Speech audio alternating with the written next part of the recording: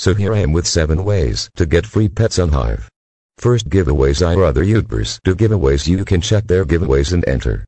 My one giveaway is open in which you can get pets too. Second gift drops, you all can just stay on the hub so if someone drops a gift you can take it and it's completely free for you. Third gifted by a friend, your one rich friend can gift you pet for free. Now if you somehow grind and get 6000 coins in Microsoft rewards there you go you can buy pets easily.